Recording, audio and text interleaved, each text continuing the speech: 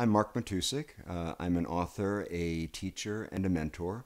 Uh, and the work I do with students and the books I write are all about truth, story, and transformation.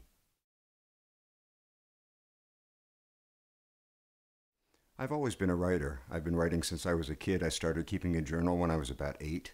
I grew up in a house where there was a lot of danger and uh, loss and confusion. So, uh, writing is where I was able to make sense of my experience and also be a witness to the stories that were happening around me. A lot of writers start out that way, as witnesses.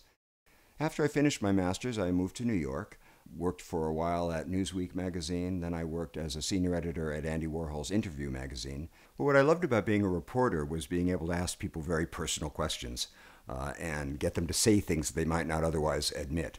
Well, it was 1984. Uh, I was working at Interview, and the people around me started getting sick and dying. Uh, and I was afraid for my own life. Uh, and I fled. I quit my job and spent the next 10 years as a, as a Dharma bum. Uh, and when I came back, I wanted to describe that experience of leaving the fast track to go on a spiritual uh, quest. Uh, and that became my first book, which was Sex, Death, Enlightenment. I wanted to write a, a spiritual book for worldly people. It was actually one of the first memoirs of its kind, trying to describe how we take spiritual lessons and bring them into everyday life as ordinary people in the world. My next book was uh, called The Boy He Left Behind. When in my late 30s, uh, someone dared me to look for my father, who had disappeared when I was four. Uh, and that journey actually changed my life profoundly. You know, Freud said that until your father dies, you don't actually become a man.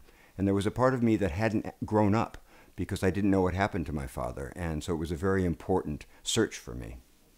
I love working with people. I spend about half my time now working with students uh, helping them look into the questions and the stories that they ask and tell themselves, uh, and what, what they're not being honest about.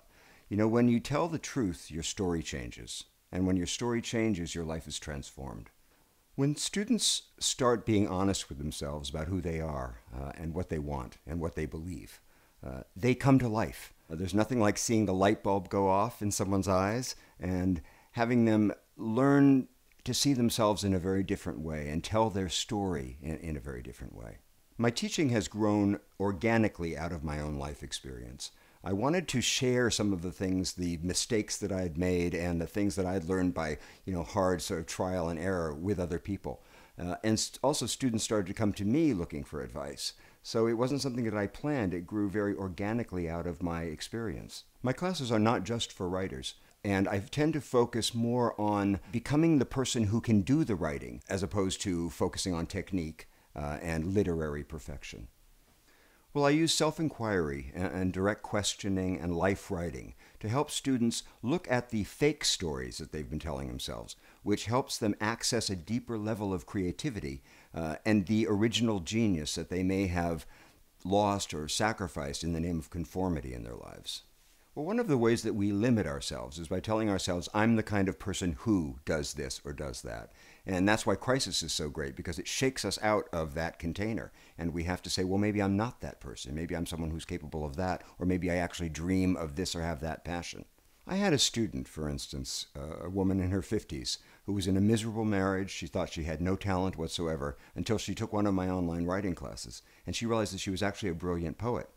And over the course of the year, she started to publish her work, number one. And number two, she left her husband, which was a huge shift for her and a huge growth experience that she wouldn't have anticipated uh, by taking a writing class. But it, it showed her who she was. She was able to see herself in the mirror of her own work. I form very deep bonds with my students. Uh, there's a kind of intimacy happens when you ask people to go into their dark places and tell their secrets. I think of myself as a spiritual friend to my students. There's something in Sufism called sohbet, which is the spiritual talk of friends, and that's how I think of the teaching that I do. People are surprisingly open in online classes. You can sometimes be more candid with someone you've never met than you can with your best friend. It's sort of like telling a story to a stranger at a bar that you know you're never going to see again.